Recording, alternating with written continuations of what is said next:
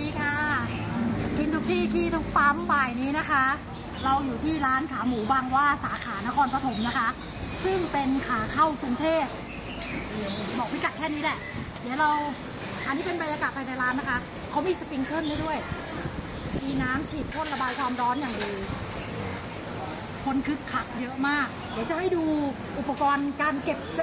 จานชักช้อนเขาก่อนนะคะ อันนี้คือเก็บชามเก็บช้อนนะดีมากเลยอะวันนี้นั่งแน่นหนามากวันนี้นั่งข้างเจ้าเลยมีนั่งข้างเจ้าด้วยค่ะทำเลดีอ่าเดี๋ยวเปิดก่อนนะคะ อุปกรณ์การกินอยู่นี่นะคะ ปิดไว้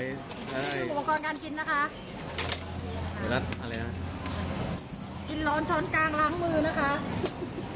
อันนี้จะกินขาหมู ดูน้ำจิ้มก่อนนะคะโอ้ยน้ำจิ้มก็ตักออกมาอย่างนี้ แล้วก็เอามาใส่ถ้วยเล็ก แล้วก็ เก็บคืนนะคะ อันนี้เป็นเครื่องเพิ่มความอร่อย เครื่องเคียง ก็จะเป็นต้นหอมกระเทียมแล้วก็ลูกโดดรู้จักไหมลูกโดด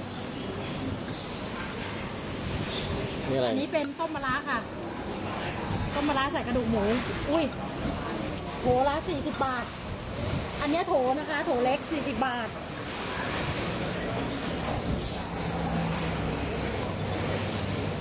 มาถึงก็เล่นกันเลย เอากระดูกหมูทุกคนเลยอะอื้อหือ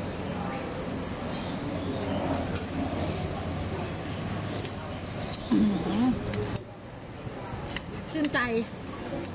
ชื่นใจไทยแลนด์อันนี้เป็นไอ้นี่นะมาละกินของผมเป็นยานะคะ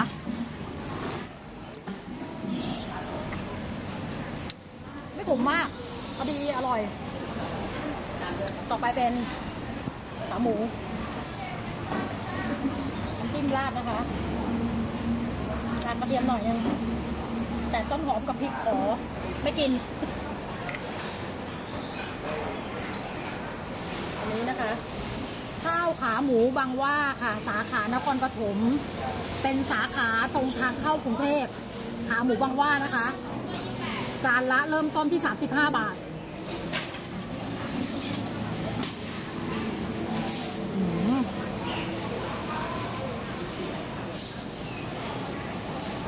แน่นจนสับเป็นค